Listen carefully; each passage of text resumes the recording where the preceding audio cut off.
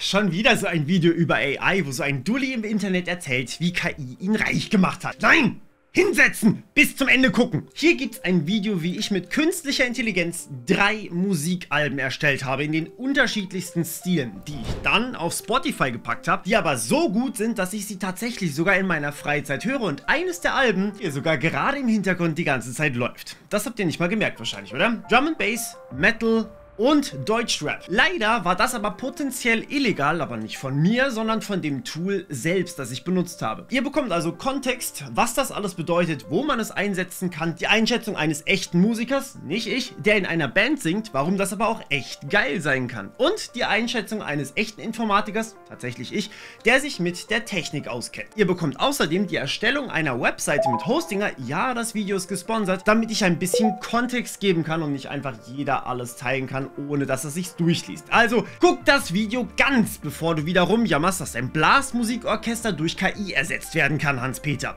Denn wenn ich dein Blasmusikorchester ersetzen könnte, hätte ich das schon längst getan, damit du nicht ständig hier neben meiner schönen Wohnung Trompete übst, während ich entspannt ein bisschen Growlen üben will. Okay, hallo ihr lieben musikinteressierten Hexen. Wir wussten, dass ein Stein auf uns zukommt, als letztes Jahr im August YouTube mit der Musikindustrie zusammenarbeiten wollte, wegen KI. Können wir also bald endlich komplett bedeutungslose KI-Kunstwerke in YouTube Music erwarten, damit YouTube endlich keine Bands, Gruppen und Labels mehr bezahlen muss. Oh hell yeah! Die ganze Welt jubelte YouTube zu, endlich keine Konzerte mehr von einem echten Menschen. Im April und im Mai diesen Jahres sind dann aber zwei Tools veröffentlicht worden, die das tatsächlich so können. Gib ein, was du für Musik möchtest und du bekommst sie. Das erste Tool war Suno Version 3, mittlerweile sogar Version 3.5. Fragt mich bitte nicht, was mit Version 1 und 2 passiert ist, ich habe von denen davor noch nie gehört. Einer von euch hatte mir damals tatsächlich einen Song gebaut und erst dadurch habe ich das Ganze mitbekommen. Es ist viel zu einfach. Ihr gebt Lyrics ein, ihr gebt einen Stil ein, ihr gebt einen Titel ein, ihr wartet kurz. Das Problem, es ist echt scheiße. Hört ihr den Gesang?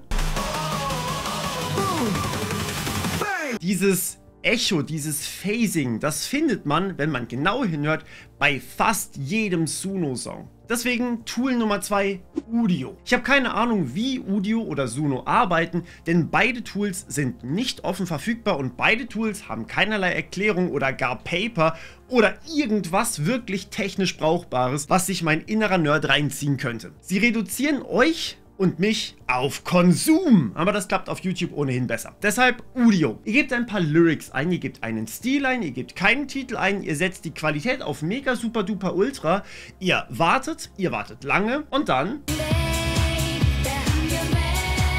Bei Udio bekommt ihr allerdings nur 32 Sekunden Audio, bei Suno bis zu 4 Minuten. Man kann aber zum Beispiel bei Udio noch ein paar Bereiche davor, speziell sogar Intros erstellen, für die man dann auch wieder Prompt, Lyrics etc. angeben muss und genauso geht das dann eben auch mit dem Outro. Und damit könnt ihr dann Songs wie diesen hier erstellen. Vielleicht habt ihr gemerkt, dass sich hier verschiedene Arten zu singen mischen und das war der Grund, warum das erste Album ein Metal-Album sein muss. Mal ganz abgesehen davon natürlich, dass Metal sowieso Beste ist. Es gibt im Metal natürlich auch Gesang. Ihr könnt aber auch growlen. Ihr könnt rappen, was ich nicht kann. Ihr könnt aber zum Beispiel auch Unterton singen.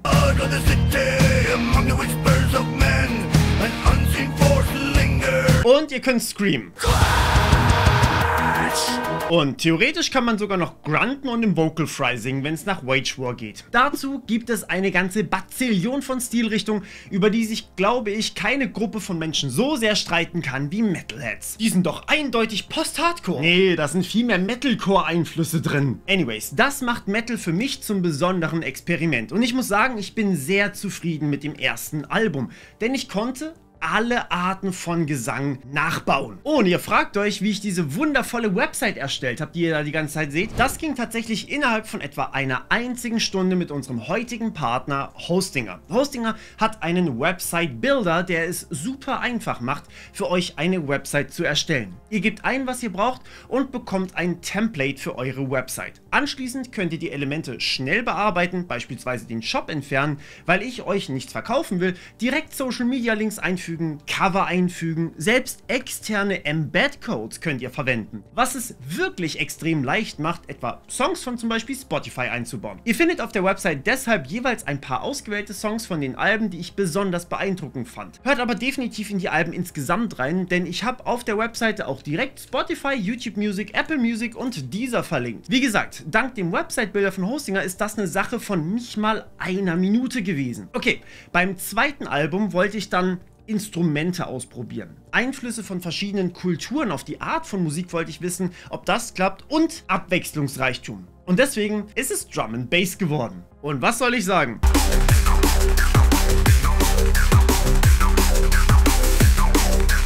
Ob Didgeridoo, Cello oder sogar geile Instrumente wie das Koto. Es hat alles geklappt und das nicht zu knapp. Aber eins ist mir bewusst geworden. Erstellt man Musik, sucht man sich immer genau das raus, was eben am besten passt, was mir am besten gefällt. So wie Breakdance und die Queen, die in diesem Deepfake so schön gezeigt werden.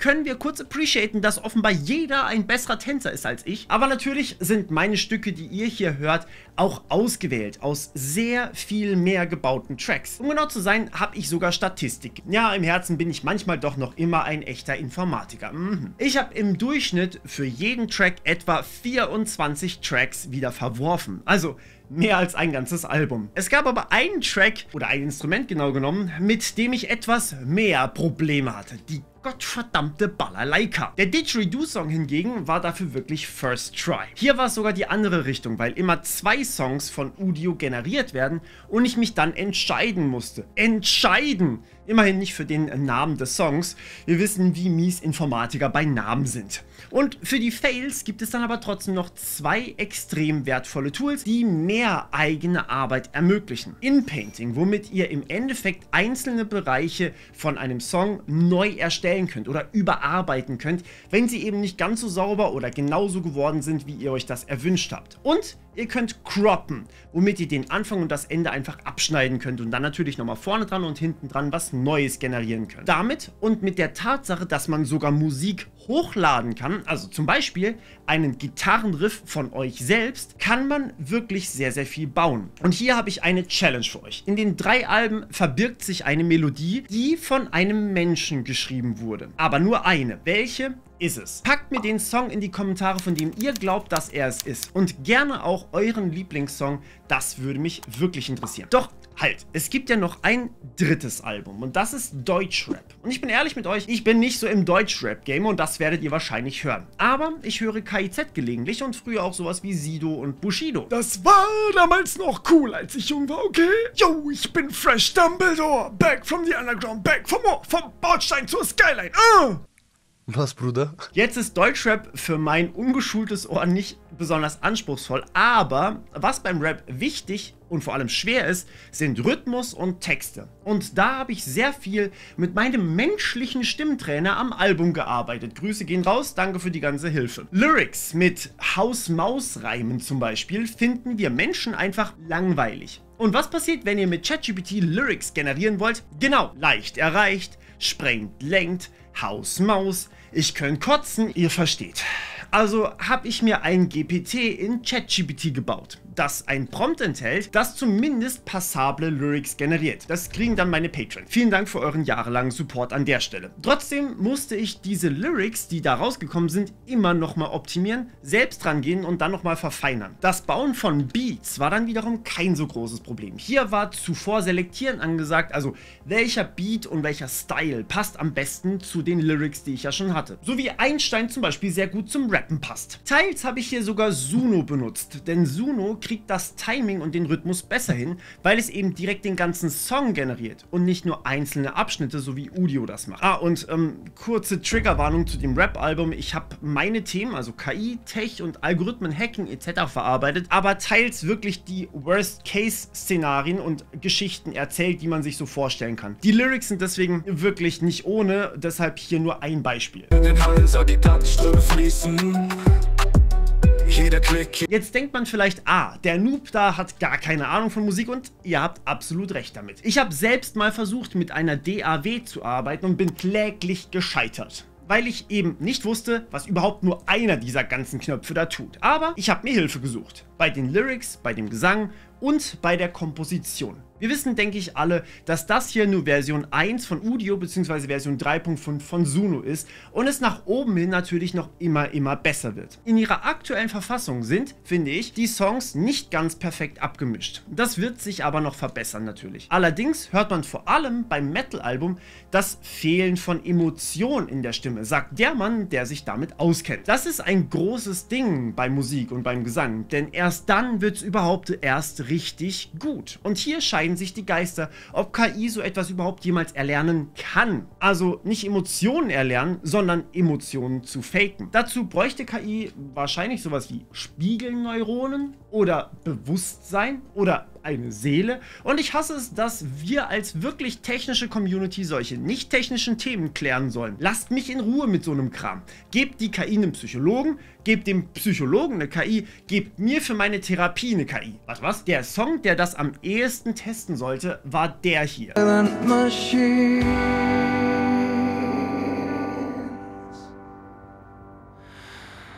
Um ehrlich zu sein, man fühlt es ein bisschen, würde ich sagen. Aber ich war auch wirklich, wirklich lange dran. Ich war pro Song so circa drei bis vier Stunden dran und ich habe ja eigentlich nicht viel getan, wenn man so möchte. Was meint ihr? Und dazu kommt natürlich, in der Musikindustrie ist natürlich auch alles drastisch bearbeitet. Gehen wir nochmal zum Metal. Mittlerweile wird ein Song meistens vollständig programmiert, bevor er überhaupt nur geprobt wird. So kann man schneller Songs erstellen und überlegen, ob die überhaupt gut klingen.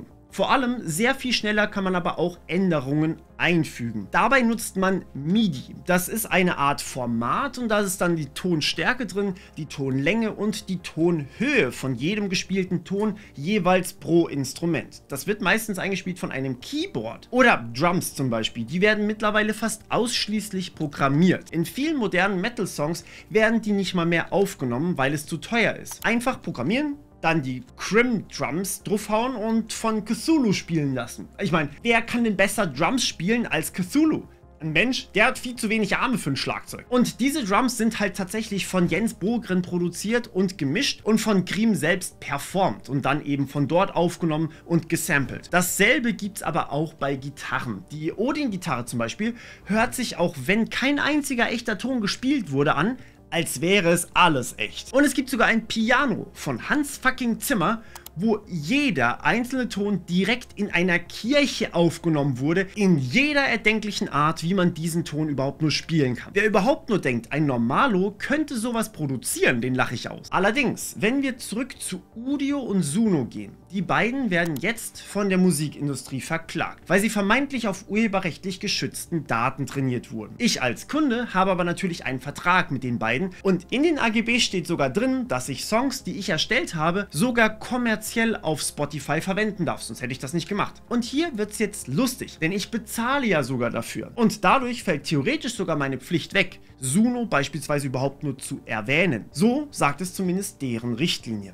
Das heißt, wir haben keine Ahnung, wie viele Songs da draußen schon zumindest mit Co-Autor KI erstellt wurden. Meine einzige Pflicht ist, dass ich nicht einfach Lyrics von anderen Leuten klaue oder ihre Melodie und naja, fairerweise, die gilt schon immer. Das mit der Klage kennen wir aber auch schon von Bildgeneratoren wie Midjourney und Stable Diffusion. Und das macht auch komplett Sinn. Eine KI muss im Training erstmal verstehen, was einen guten Song ausmacht, bevor sie selbst welche produzieren kann. Und dazu werden KIs wie Suno oder Udio im Training mit hunderttausenden Songs gefüttert, die die dann quasi erlernen. Ihr könnt euch das so vorstellen, als würdet ihr einem Mini-Hirn, das nur Musik kann, Milliarden Songs immer und immer wieder einprügeln. So wie wir damals in der Schule eben Gedichte uns eingeprügelt haben. Dunkel war es, der Mond schien heller, als ein Auto schnelle langsam um die gerade Kurve fuhr. Aha, wo kam das denn her? Aber demgegenüber stehen tatsächlich auch wir Menschen. Wenn ich einen Song schreibe, als Mensch, mal vorausgesetzt, ich könnte das und wäre nicht scheiße darin, dann ist der natürlich aus allem inspiriert, was ich persönlich jemals gehört habe. Bei mir wäre das ein sehr ungesunder Mix aus Metal, K-Pop, Drum and Bass und wahrscheinlich noch ein paar anderen. Ich habe dazu schon mal ein ganzes Video gemacht. Der Punkt ist aber, unser Urheberrecht zerbricht da an. Komplett. Und es ist klar, dass nichts klar ist. Selbst OpenAI darf sich aktuell einer Klage von der Times stellen obwohl die Daten sogar öffentlich zugänglich im Internet sind und ich als Mensch mir alles davon auch ohne Abo durchlesen kann. Japan hat das so ziemlich einzigartig geklärt und gesagt, zum Training von AI ist alles erlaubt. Da gibt es kein Urheberrecht mehr. Also im Zweifel sind Udio und Suno dann wohl bald japanisch. Und trotzdem, wenn ihr nochmal auf die Webseite schaut, die ich mit Hostinger erstellt habe, dann sind da nicht drei Tools aufgelistet, sondern vier. Der Mensch ist immer mit dabei. Bei meinen Songs und hoffentlich auch bei jedem anderen. Ich persönlich entscheide, was sich für mich gut anhört und das wird dann produziert. Vermutlich hättet ihr einen meiner Abfallsongs sehr viel mehr gefeiert als die, die es nun auf die Alben geschafft haben. Ich war also sowas wie eine Art Kurator für Songs, die aus der KI ausgespuckt wurden. Ich habe die Ausgaben der KI für euch validiert und dann angepasst. Naja, aber auch für professionelle Musiker hat das Ganze zwei Seiten. Ja, ich als vollkommener Dulli kann jetzt unfassbar leicht Songs erstellen, sobald ich mich ein bisschen damit befasst habe. Das ist super, wenn ich meiner Oma eine Blasmusikkapelle nur zu ihrem Geburtstag spielen lassen will. Aber es ist natürlich überhaupt nicht konsistent. Die Stimmen hören sich jedes Mal anders an.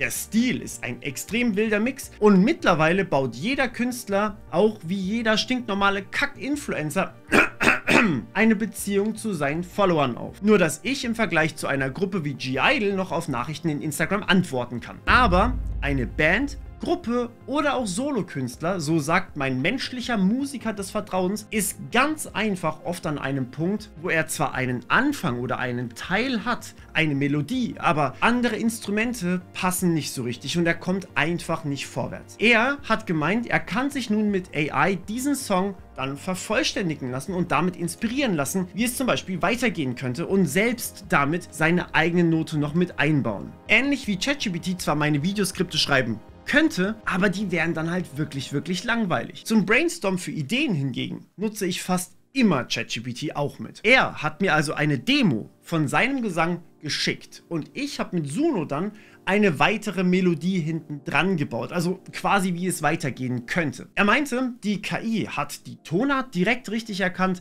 und hat richtig, richtig gut sogar direkt Variationen erstellt, in der Art, wie eigentlich nur wirkliche Profis das können und immer wieder auch tun. Er war tatsächlich so begeistert, dass er in seinem Song, den er gerade angefangen hat zu schreiben, zumindest einzelne Elemente von der KI übernehmen möchte. Aber eben nicht alles, logischerweise. Sogar nur einzelne kleine Bestandteile.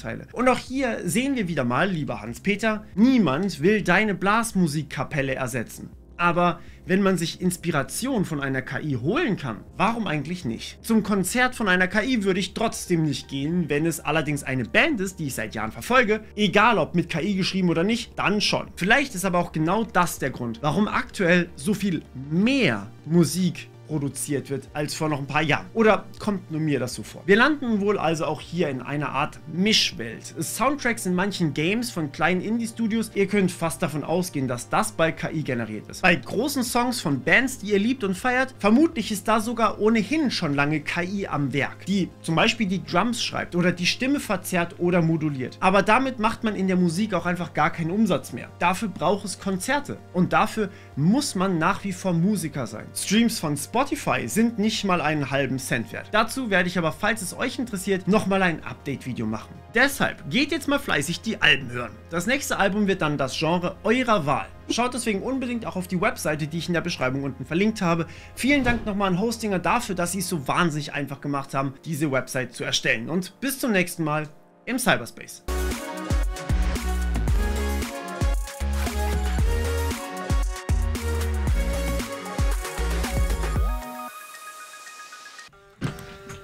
Es wackelt.